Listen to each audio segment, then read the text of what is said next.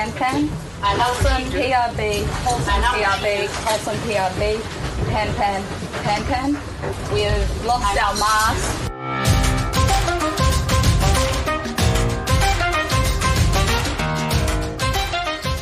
Hallo und willkommen zu unserem Sonderformat Ocean Race aktuell des Segelreporter Podcasts. Mit dabei ist wieder Carsten. Und Carsten, wir haben es eben schon im Ausschnitt gehört. Gestern gab es ziemlich viel Dramatik im Ocean Race. Deswegen würde ich sagen, wir springen erstmal direkt auf gestern Morgen zurück. 5 Uhr UTC, 2 Uhr Ortszeit Brasilien. Was ist passiert? Ja, hat uns hier auch irgendwie um, ähm, was sagt man, um kalten Fuß, nee, auf dem falschen Fuß erwischt. Ja, noch vorm Frühstück. Ja, habe ich dann genau. die Meldung gesehen und dann schnell einen Rechner gesetzt. Stimmt, man guckt sich ja auch das morgens immer an und ist ja durchaus wieder dieser Rhythmus. Ich mag das ja äh, gerne, es ist ja für viele Fans so, dass man quasi so einen Rhythmus mit dem Tracker hat, abends Mhm. ins Bett geht und dann doch nochmal guckt und ist ja durchaus sehr, sehr spannend gewesen. Ja, und unsere Führenden und mit, mit Abstand Führenden, muss man ja sagen, ich glaube, von allen Punkten, die es bisher zu äh, gewinnen gab, haben sie nur einen Punkt nicht Ja. bekommen, nämlich im, im Ziel der vergangenen Etappe, als Malizia vorbeigefahren ist. Also sind schon souverän führend. Und äh, ich meine, klar war es schlimm. Der erste Ausfall war ja von Guyot. Das war natürlich auch mega traurig und dramatisch, aber für das Rennen hat das eben, für den Rennausgang hat das bis jetzt noch nicht so einen riesen äh, Unterschied gemacht. Aber wenn der Führende und der Top-Favorit natürlich ausfällt, das ist schon eine, schon eine dramatische Geschichte. Und natürlich sind auch alle ähm, ja, auch die Gegner sind traurig. Ähm, also passiert ist, klar, Mast ist gebrochen halt, ne? Also das, der Super-GAU ist passiert und wir haben jetzt heute Morgen auch noch die, die Infos, wo sie ähm, gen- genau erzählt haben, dass tatsächlich der Rollschäkel, kann man, nennt man das jeden Wirbel. Wirbel, genau, Wirbel war das, war das Wort. Swivel äh, ist das äh, genannt, wo, wo die J2 äh, Genua, die, das J2 Vorsegel ähm, den Mast hält und oben am Top. Das, äh, dieser äh, Beschlag ist eben wohl gebrochen und klar, da das J2 Vorstach den ganzen Mast vorne hält, sieht man das ja auch im Video. Erst fällt die Fock runter ins Wasser und dann kippt der Mast langsam nach hinten. Und da der Mast dann ähm, quasi über den Aufbau so nach hinten kippt, ähm, ist er dann auch in die Teile gebrochen. Ne? Also ist Mhm. ja so ein quasi kleiner Wulst. Äh, die Nachricht war auch, dass äh, Gott sei Dank am Deck keine Struktur beschädigt wurde. Das war für, Ja. haben sie natürlich auch sofort gesucht und ja, dann lag der ganze Mist im Wasser und jetzt geht's drum, ähm, wie kommt man wieder zurück. Ne? Genau, das Video ist ein gutes Stichwort. Also, das kam ja gestern Abend online, so gegen fünf, meine ich ungefähr, Mhm. halb sechs. Und ich muss sagen, ich habe sowas noch nie gesehen. Also, ich habe es auch nicht erlebt. Du hast es jetzt am Wochenende erst erlebt gehabt, einen Mastbruch. Ähm, ja, scheiße. aber ich habe das erste Mal jetzt wirklich, ich glaube, es ist auch ein Novum, dass es alles so festgehalten auf Video ist. Ne? Wir haben mal die, die Mastkamera, die es äh, festgehalten hat, Mhm. die das Vorstark bricht und der Mast nach hinten fällt. Dann haben wir unter Deck die ganze Aufregung und Hektik. Und Mhm. es war ein unglaublich beklemmendes Gefühl, als ich das Mhm. Video gesehen habe, weil es war ja dunkel draußen, es ist so ein bisschen die Horrorvorstellung, weißt du, es ist dunkel, die Geräuschkulisse, da hast du noch so ein bisschen, war doch mehr Wind, als ich dachte, ehrlich gesagt. Mhm. Du hörst immer das Rauschen des Windes und wie das Boot Mhm. noch in den Wellen schlägt und so und unter Deck ist Hektik, die springen aus den Kojen, machen sich fertig, ziehen noch schnell äh, Rettungsweste über, teilweise nur in Shorts an Deck gewesen. Mhm. Also ich fand das ein unglaublich beklemmendes Gefühl. Mhm. Also die ganze Kulisse war halt sehr, sehr, also ein Albtraum war das Mhm. irgendwie für mich. Ja, mich- hat so ein bisschen erinnert, wenn, wenn, wenn du äh, zurückdenkst an den Vestas Crash. Ne? Ja. Das war jetzt nicht äh, klar, Mast ist dann auch irgendwann gebrochen, aber die sind ja quasi auch mit Video sehenden Auges auf den Riff da bei, bei, bei Madagaskar da gefahren und dann Mauritius. Mau- ja, ja, genau, Mauritius um, um die Ecke, glaube ich, oder? Aber Madagaskar ist dann ja irgendwie Ist weiter unten, aber ja, in dem, in der, bei der Etappe und ähm, naja, und da, das war dann auch, wie gesagt, die großen Augen in der Dunkelheit und wie, was denn jetzt passiert? Und das, aber du hast recht, dass, ähm, dass man eben das auch den Bruch wirklich von der Mastkamera Mhm. aussah, wie das Ding um, umkippt, ist natürlich heutzutage viel mehr noch bestückt als mit Kameras und äh, ja, war definitiv ähm, und auch die die Phase danach. Ich meine, Escoffier, der ist ja sonst immer ähm, eigentlich sehr gut vor der vor der Kamera und ähm, äh, ja und macht dann auch eher so den Entertainer und so. Und jetzt saß er ihn wirklich die ganze Zeit da auch ähm, ja die Emotion, wie dem mhm. geht das natürlich den Kopf. Mein Gott, stehen vom super Rennsieg da auch. Ich weiß nicht, ob er das vorher so erwarten konnte, wie sein Boot und sein Team performt. Man wusste ja gar nichts äh, darüber. Jetzt liegt er so weit vorne und äh, in, in, in Schnipp mit einem Mal von einer Sekunde auf die andere gibt es ganz andere Probleme halt. Ne? Und äh, mhm. das sah man förmlich, wie das ihm durch den Kopf geht. Und äh, ja. Ich glaube, die Emotionen kochten ziemlich hoch. Mhm. ich muss auch sagen, auch der, die haben wirklich alles festgehalten. Also ich glaube, diese, es war ja sehr professionell alles, wie mhm. sie es gemacht haben. Ne? Da haben mhm. sie die Rollen verteilt, wer was macht und sowas. An mhm. GBs musste einen Funkspruch absetzen, Pan Pan. Mhm. Der Rest hat dann quasi die Werkzeuge geholt so kleine ja. Flex hatten sie irgendwie, um die Wanden loszuschneiden. Ja. Ähm, Anime ja. GBs hatte zwischendurch nach der Axt gerufen. Ist die Axt? ja. Ja. Ja, also ja, es, war, es war zwar Hektik unter Deck und sowas und alles Gewusel und hier und so, aber sehr, sehr professionell und teilweise auch noch ruhig dabei. Also ich fand das sehr, sehr eindrucksvoll, muss ich sagen. Ja, wenn du denkst, was, was Escorchier bei der letzten Runde Globe ja. erzählt, dann ist das für den jetzt wahrscheinlich auch ein Kinderkram, oder? Aber die wissen ja alle schon als, als Profi, äh, dass sowas passiert und äh, ist jetzt nicht für unser eins, okay, du hast recht, das war ein Alster, Alster Crash. Ähm, aber das ist natürlich überhaupt nicht vergleichbar. Da fällt das Ding um und fertig und du hast ein Motorboot in der Nähe. Mhm. Aber wenn so ein, so ein Mast oder also überhaupt so eine, so eine Situation, das schaltet dann auch der Mensch und zumindest glaube ich auch diese Profisegler oder die natürlich noch viel näher mit so einer Möglichkeit auch ständig ihr Leben mhm. sofort in den, den To-Do-Modus und wissen auch, was zu tun ist. Und das finde ich auch, das konnte man da sehr, sehr gut sehen. Und äh, genau. ja. Lass noch mal ganz kurz voll den Mastburg zurückspringen, denn mhm. es gab eine sehr lange Kreuz in dem kleinen Kanal zwischen dem Festland und der Sperrzone. Und da müssen wir ganz kurz uns entschuldigen. Wir haben vor zwei Tagen gesagt, es wäre ein Verkehrstrennungsgebiet. Ist es nicht. Es ist eines der größten Ölfelder der Welt mit ganz vielen Ölplattformen da drin und da dürfen natürlich nicht reinfahren. Deswegen, wie gesagt, in der engsten Stelle waren es, glaube ich, 30 Meilen zwischen Küste und Feld. Mhm. Und da mussten sie aufkreuzen und da war ein sehr, sehr spannendes Duell in, äh, in Gange zwischen Holzim PHB und Eleven's Hour. Und das hast du auch ganz schön beschrieben, Carsten, in deinem Text. Mhm.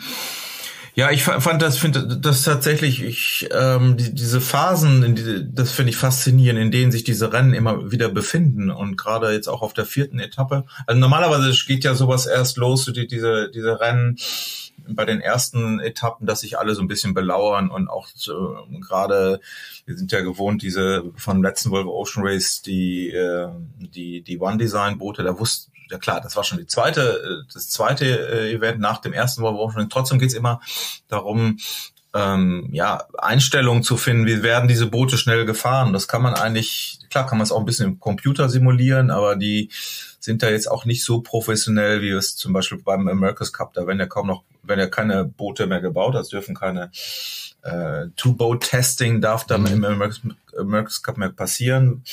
Erstens, weil es ähm, zu teuer ist, aber auch weil es eigentlich auf dem Niveau irrelevant ist. Die, die packen das, äh, die Konstrukteure, wenn die richtig Geld haben, dann wird das so äh, in den Computer simuliert, dass man das äh, in, zum, mit einer großen Genauigkeit äh, Performance bei bestimmten Wind- und Wellenbedingungen auch äh, simulieren kann. Ja. Das haben die jetzt beim Ocean Race und auch bei den Imokas natürlich nicht. Deshalb suchen die sich immer noch, und zwar selbst auf der vierten Etappe, ähm, naja, wenn sie einen Partner haben, mit dem sie dann wirklich fahren, parallel, dann wird immer noch an den Einstellungen gefeilt. Wir wissen ja auch, gerade Boris Herrmann, Malizia, die haben ja nun ihre Foils äh, komplett andere, als die sie damals im Computer berechnet haben, weil die ja im Vorfeld gebrochen waren. Jetzt sind ja diese runden Foils. Also eigentlich weiß man auch da noch nicht genau, wie müssen noch bestimmte Sachen denn eingestellt werden. Das ist ja im Grunde auch der, der Test oder das wichtige, äh, der wichtige Aspekt des Volvo Race für alle Teams, die, die ja auch Vonnie Globe dann später sehen und das mhm. viel über ihr Boot zu lernen.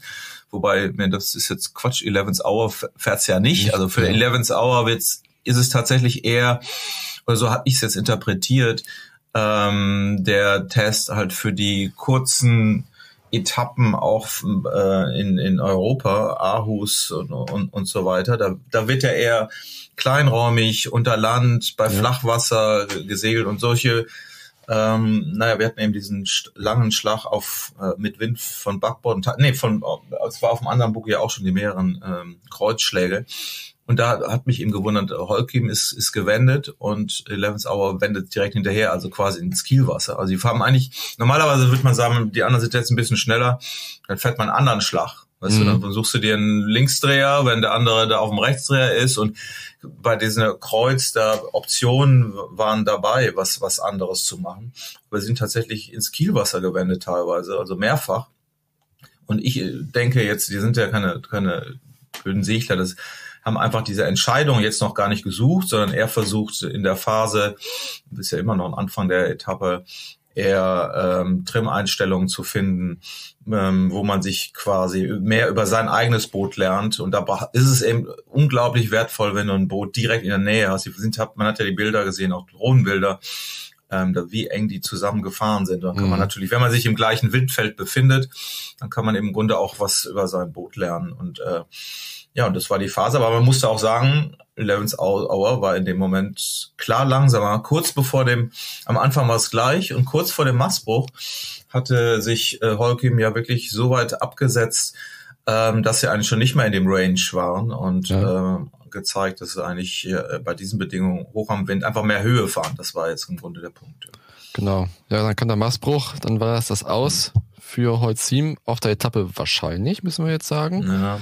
Welche Optionen haben die Schweizer Franzosen denn jetzt noch? Hm. Also so wie ich es jetzt äh, gelesen habe, heute Morgen auch, ähm, wollen die wohl zurück nach Rio de Janeiro. Was sind, glaube ich, 48 Stunden Range. Ne? Genau, das sind 130 Meilen ungefähr. Mhm.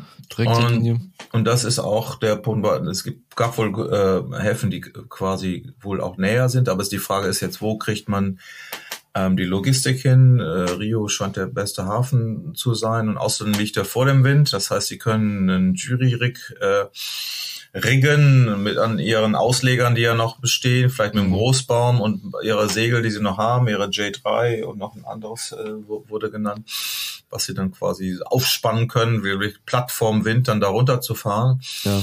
Und ähm, ja, und jetzt beginnt das Rennen gegen die Zeit. Also die, die erste Idee ist wohl, äh, einen Mast nach Rio zu bringen von Lorient, wo der Ersatzmast ist, der Klasse. Also wir müssen sagen, es gibt halt einen Ersatzmast, mhm. der ist vorrätig. Mhm. Und der kann dann quasi dann an die Teams an das Team verschickt werden, äh, transportiert werden, das es gerade benötigt. Genau, dem, dem kommt zugute, dass äh, seit 2014 die Imokas äh, One-Design-Masten fahren müssen genauso wie mhm. auch die Kiele, die ja früher alle abgebrochen sind oder viele abgebrochen ja. sind, nachdem wir da rumgebastelt haben und und äh, naja dann natürlich auch ans ans äh, Materialminimum gegangen sind und das hat dann zu zahlreichen Ausfällen geführt. Genauso wie beim Rig, da gab es ja dann welche mit klassischem ähm, äh, Wandensystem, dann eben diese Outrigger haben sich durchgesetzt und aber eher auch jetzt von den von den Regeln her, das das muss alles gleich sein. Mhm. Und das hat sich für die Klasse im Grunde auch gelohnt, weil gerade für so einen Fall problematisch ist, dass äh, ja doch dann wegen auch wegen der Corona-Krise, Lieferketten-Schwierigkeiten und den vielen Neubauten eben in der Emoka-Klasse weniger Massen zur Verfügung sind. Aber einen gibt's eben, der ist in Lorient und ähm, ja, der muss jetzt dahin kommen nach Brasilien. Ja, wahrscheinlich, also ich denke mal, Fracht auf dem Schiff äh, schaltet aus, das dauert zu lange. Mhm. Also wahrscheinlich mit, mit, dem Flieger irgendwie, da gibt es so ein paar Frachtmaschinen, die es machen könnten. Mhm. Und dann ist halt die große Frage, äh, schaffen sie es halt auch diesen Mast zu stellen, wie ins Rennen einzusteigen und nach mhm. Newport zu segeln oder sagen sie halt, sie segeln außer Konkurrenz nach Newport. Oder sie packen das Schiff auf den Frachter und fahren mit dem Frachter nach Newport. Was mhm. meinst du? Ja, weiß ich. Und das, das ist, geht da wahrscheinlich um, um Stunden oder so, wo die, mhm. die Logistiker das, das ausrechnen. Ne? Also ich habe eine Option ist wohl auch, wie du sagst, genau, Frachter nach Newport und dann der Mast äh, geht dann auch eben auf direkten Weg nach Newport, dass es da dann alles zusammenbauen. Also ähm, was ist der Idealfall fürs Team wäre wohl ähm, tatsächlich, die, es, es befindet sich ja sogar noch im Rennen. Ähm, genau, ist, also die, die Regeln sagen halt, du mhm. kannst halt irgendwie ausschalten, du kannst halt einen Break machen, mhm. pausieren, mhm. suspenden und dann kannst du reparieren, musst aber mindestens ich glaube, 24 Stunden musst du quasi äh, im Hafen bleiben oder quasi aus, äh, außer mhm. Wertung sein. Und dann kannst du wieder einsteigen. Du musst aber quasi das Rennen wieder an dem Punkt aufnehmen, wo du es ähm, beendet hast, abgebrochen hast. An der GPS-Position, genau. Genau, da sehen. muss man wieder hin. Das Mhm. hatten wir gehabt bei, bei Kapstadt, als 11th Hour und auch Biotherm ähm, Stimmt. unterbrochen haben. Die mussten auch wieder einen Punkt zurücksegeln Hm. Oder zurückfahren und da wieder einsteigen ins Rennen, das Rennen wieder aufnehmen. Und das müsste halt irgendwie Biotherm, ach Biotherm sage ich schon, äh, Mhm. Holcim eben auch machen. Mhm. Aber wie gesagt, äh, die Zeit rennt. Ähm, am 21. Mai startet schon die nächste Etappe in Newport Richtung Aarhus. Mhm. Und das ist ja die Etappe, worum es wirklich geht. Also im Prinzip jetzt natürlich kann Punkte retten, wäre noch schön für, für Holcim PRB. Ja, das muss man sagen eben, ne? Genau. Der Vorteil dieses Dings wäre, dass sie einen Punkt dann dafür noch sogar bekämen Genau, für ich- dieses Rennen. Ja, aber ich denke mal, das ist ja wirklich der Haupt, das wäre schön, also es ist nice to have. Ja. Aber ich glaube, der Fokus liegt wirklich halt rechtzeitig in Newport zu sein, Ja. äh, am 20. Mai, am 20. Mai, um halt die Etappe nach Aarhus zu bestreiten, Mhm. weil da gibt es nämlich dann doppelte Punkte in Aarhus. Ja. Also nicht fünf Punkte für den Sieger, sondern zehn Punkte für den Sieger und das könnte für Holcim PRB ja schon eigentlich der- Sieg sein. Genau. Also die machen das bestimmt wieder so wie bei der einen Etappe, dass zwischendrin immer so ein Gate ist oder so. Nee, ist nicht. Also Ach, hab ist nach, nicht. Ich habe okay. hab nachgeguckt, das war auch Ah, mein Gedanke, dass okay. sie vielleicht im, im, im Skagerrak oder sowas Mhm. einen Punkt haben, aber nee, haben sie nicht. Ah, es okay. ist einfach, wer zuerst in Aarhus ist, bekommt doppelte Punkte. Ah, also ja. alle, die in Aarhus sind, bekommen doppelte Punkte. ja, ja. Ich finde es ein bisschen langweilig, ehrlich gesagt, weil Hm. das, das Charmante an diesem Gate im, im Southern Ocean war ja, dass es irgendwie nochmal neue Hm. Spielchen gab, so ein bisschen. Das hat- was halt nicht in Aarhus, aber gut. Naja, ist eine Atlantik-Etappe, ne, genau. Und insofern, da werden, werden sie sich schon alle irgendwie bemühen und die ist halt ein bisschen kürzer als die vorherige Mammut-Etappe. Ja. Äh, Das, das stimmt schon so. Und wenn du so, das Problem bei einem Gate in, in der Mitte wäre ja auch, dass die Teams weniger Optionen haben. Du musst ja dann durch dieses Gate und kannst eben nicht dann eben diesen Extremstau oder auf eine andere Seite machen halt, ne. Also das ist dann auch manchmal ein bisschen langweiliger, weil dann alle durch das Gate gequetscht werden und dann der, der vorne liegt, oder die, die hinteren haben keine Option mehr zum Angreifen. Aber, aber das stimmt. Das ist, glaube ich, das muss, hätte ich jetzt auch nicht gedacht. Äh, Aber was eben bleibt, ist der Fakt, dass das doppelte Punkte da gibt. Und wenn Holkim dieses, äh, diese Etappe nicht fährt, oder zu, das ist ja der Plan B, C, würde ich mal sagen, ähm, dass sie dann wieder erst in Aarhus ein, eingreifen, Mhm. dann ist das Ding im Grunde verloren. Ne? Also bei Ja. fünf Booten ähm, denke, denke ich mal, ich habe es jetzt nicht ausgerechnet, äh, aber es, es ist bestimmt noch eine theoretische Möglichkeit da, das trotzdem zu gewinnen. Aber äh, da muss dann eben schon viel passieren und, und im Endeffekt äh, kann es das nicht sein. Ne? Ich müsste auch nochmal nachgucken. Ich glaube mich fast ehrlich gesagt nicht. Ne? Wenn sie dann, dann geht's nach? Den Haag, sind es fünf Punkte, dann Den Mhm. Haag, Genua ist auch nochmal fünf Punkte, sind maximal zehn Punkte, können sie holen. Wenn sie da schon wieder zehn Punkte verlieren oder jetzt 15 Punkte verlieren, ist es, glaube ich, gegessen. Stimmt, stimmt. Ja, ja, ja. Kommen ja eigentlich relativ einfach. So viele Etappen sind es ja einfach gar nicht mehr wie Ja. damals beim letzten Ocean Race. Nee, dann in, insofern ist das das Rennen nach, nach Newport, ne? Und dann, ähm, naja, man muss jetzt auch sagen, so, so blöd das ist, für, wenn die das schaffen sollten, äh, und sagen wir mal eben auch ohne diesen einen Punkt, oder ist irgendwie noch rechtzeitig nach Newport, dann, dann hätten sie 19 Punkte, würden immer noch vorne liegen, wenn Mhm. äh, 11th Hour jetzt gewinnt, was überhaupt nicht klar ist, weil es ist, äh, aber im Moment liegen sie halt vorne, dann hätten die 18 Punkte, also ein Punkt weniger und äh, Malizia hätte auch 18 Punkte. Ähm, beziehungsweise wenn Malizia jetzt gewinnt, dann hätten sie 19. Also das ist so, so eng dann zusammen, was natürlich mega spannend wäre. Also Mhm. insofern vielleicht für Zuschauer, wir hoffen drauf. Gott sei Dank ist ja auch keiner zu Schaden gekommen, wenn das jetzt alles so irgendwie hinhaut.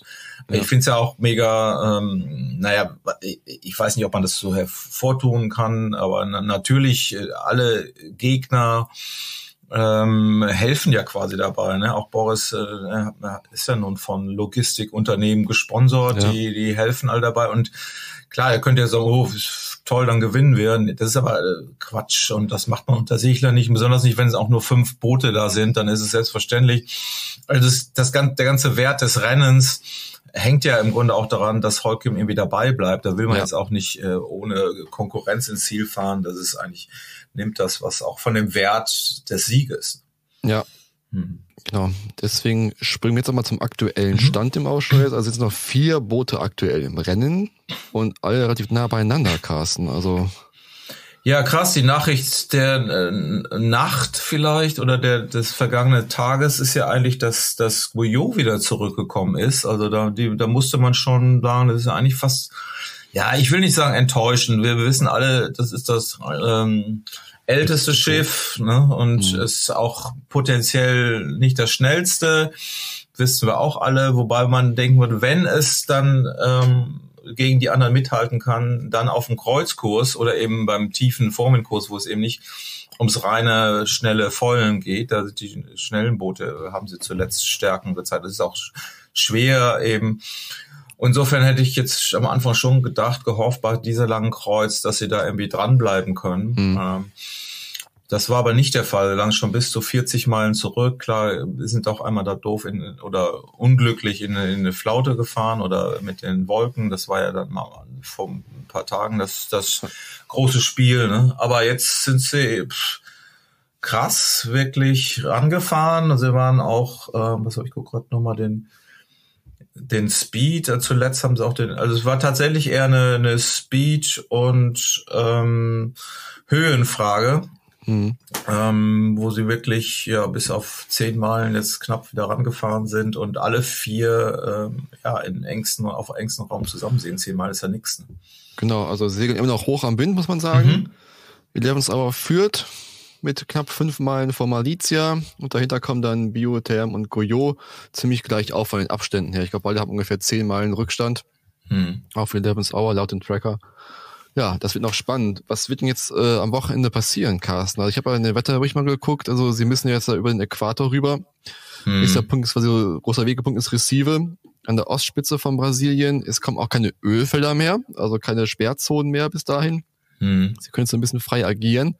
Aber das sieht laut Wetterbericht so ein bisschen nach äh, bleierner Flaute aus. Ja, ich hatte erst gedacht, oder normalerweise ist es ja auch so, dass diese Doldrums die sind ja in der Mitte des Äquators da eher ein bisschen, also verstärkt und, und dann, wenn sie quasi auf dem vorherigen Weg dann runterfahren, also oder auch Richtung Kapstadt, dann müssen, suchen sie sich da irgendwo einen Weg, weil es der kürzeste Weg. Jetzt der Weg nach, nach Newport, die Küste entlang, ist der, führt der wieder genau ganz, ganz nah im, im äh, an der an, Brasil an der brasilianischen Küste vorbei und da sind die Doldrums normalerweise nicht so ausgeprägt. Da kommt dann der, der stabile Wind, aber die aktuelle Lage, ich weiß nicht, ob sich das noch ändert, aber da steht ein, riesiges, steht ein riesiges Flautenfeld davor. Und ich gucke mal auch mal, jetzt, wenn ich zwölf Stunden vorspule, na, das ist da immer irgendwie noch. Also mhm. da wird noch viel passieren. Auch jetzt aktuell ist gerade da liegt. Also ich habe jetzt auch eher zwischenzeitlich gedacht, ähm, okay, die, der, das Rennen, das haben, haben wir ja auch vorher spekuliert an dem Verkehrstrennungsgebiet. Es war nicht so, dass wir, dass es völlig abwegig war, dass die ähm, außenrum fahren. Also die sind tatsächlich auch bis zur Spitze gefahren. Das war, hat man in einem Video, ich glaube von Eleven's Hour gesehen, ah, mhm. Fahren wir jetzt rum oder fahren wir nicht rum? Vielleicht hat man auch so ein bisschen angetäuscht, das war dieser Zweikampf zwischen den ersten beiden, ja, jetzt fahren wir doch rechts rum oder dann hätte man sich da auch committed für die Seite. Also es schien so, als ob sie äh, erst äh, tatsächlich den äh, schnellsten Weg in diese stabile Ostwindströmung schaffen. Mhm. Ähm, ist aber jetzt nicht passiert und der Ostwind ist auch wohl nicht so stabil. Also da wird noch viel Schweinerei passieren. Ja, ich glaube, dass alle Teams ein bisschen überrascht, wenn sie da drin waren auf einmal, weil da gab es auch ein Video von Malizia, wo Will Harris sagt, ja, wir haben uns jetzt hier in dem Inshore-Kurs äh, wieder gefunden und äh, ja. kann nicht so, als ob es geplant gewesen wäre. Also ich glaube, einer, der den Vorreiter gemacht ist, da reingesegelt so ein bisschen. Ja, wobei, genau, das, das ist das eine, aber das ist die, da, bei so drehendem Wind ändern sich auch ständig die Routenoptionen, ne? mhm. ne? wenn sie dieses Ding dann da rein haben. Ich habe übrigens gelesen, es gibt, es gibt drei verschiedene ähm, Sperrgebiete. Es gibt wohl auch ein Sperrgebiet, wo und einfach wegen wegen der Wale oder weil die da äh, umfahren wegen ähm, wegen ähm, der Tierwelt, ähm, mhm. wo auch immer das jetzt ist, ob das jetzt jetzt ist und das andere ist ja eben genau auch klar mit mit Ölplattformen, wobei die sind ja jetzt auch durchgefahren da teilweise. Ich bei den, ich habe nur eben das letzte Video von ähm, Guyot gesehen, wo sie da ähm, sagte, ja, das sieht ja schrecklich aus, 30 Plattformen da um mhm. uns herum oder so, und dann ein riesen krasser Verkehr. Also da, ähm, ja, und sie sagte dann auch, wie schön das wieder ist, diese von Menschen gemachte naja, sie, sie hat es jetzt nicht positiv formuliert, also eher, sie hat es ja auch nicht Müll genannt, aber es ist schon, äh, naja, wenn da irgendwie alles Feuer und Lichter mitten am Wasser, wie schön das dann mal wieder, sag ich mal, im, ja. freien, auf der freien See zu sein. Wir überziehen gerade so ein bisschen, deswegen noch ganz oh kurz oh ja. zum Schluss eine letzte Frage. Ja. Wir haben gesagt, aggressives, nächste Wegepunkt so, der Kurs, der direkte Kurs führt sehr, sehr eng an der Küste vorbei. Aber wir haben schon gesagt, es kann mhm. auch sein, dass die woanders hinsegeln. Also kann natürlich sein, dass das Feld sich da irgendwie aufsplittet und mhm. die einen sagen, okay, wir segeln wieder nach Osten raus und gucken, dass wir da besseren Passatwind erwischen oder so und besser durch die Doldums durchkommen. Oder kann natürlich auch sein, dass die Leute sagen, wir segeln jetzt wirklich direkten Kurs dich unter Küste entlang. Was meinst du denn? Was könnten die Optionen sein? Ja, das kann ich, kann ich auch überhaupt nicht sehen. Das, meine, das, das sieht ja so aus, man konnte auf dem Tracker ja auch die letzten Male irgendwie immer sehen, oder sah nach stabilem Wind aus. De, de facto war das irgendwie ganz anders. Äh, ähm, da sind dann spielen dann Wolken eine Rolle, die Wolkentätigkeit war so krass, dass man den um, die umfahren muss und dann spielen die mit dem eben, was sie haben. Das wird die nächste Phase des, des Rennens wieder sein. Da geht's auch nicht allein eben ums Bieten, dann gibt's auch Überholkurse oder es gibt auch äh, wenn dann einer wie jetzt bei Eleven's Hour, der vor zwei oder drei Tagen, wenn ich mich erinnere, sind ja einfach haben äh, ähm, Malizia links stehen lassen, Holkim rechts stehen und sind einfach durchgeballert und waren 30 Meilen vorne, ne? Und was dann aber auch direkt wieder weg war. Das wird eher die die Phase sein. Mhm. Ich glaube, das kann man jetzt nicht äh, vorhersagen, ähm, wie jetzt der schnellste Weg äh, sein wird. Die spielen wieder mit dem, was sie tatsächlich im kleinräumigen Bereich haben. Und dann, klar, so wie jetzt gerade vor, vor kurzem Eleven's Hour hat versucht, so ein bisschen zu decken. Die haben eine Wende gefahren und sich nochmal quasi klassisch über das Feld gelegt, um, um so ein bisschen Kontrolle und Risikomanagement zu haben, mhm. weil sie halt noch vorne liegen. Aber bei zehn Meilen ähm, ist das wohl ganz schwierig, wenn da, muss da irgendwelche Wolken aufgehen. Also, ja, wir sind gespannt. Genau, wir sind gespannt. Und wir hören uns wieder am Montag. Und dann werden wir mal schauen, wo die Folge sich gerade befindet, ob sie sich wirklich schon äh, bei Receiver befindet oder noch mhm. weiter im Flaut noch feststeckt. Bis dahin, tschüss, schönes jo. Wochenende. Tschüss.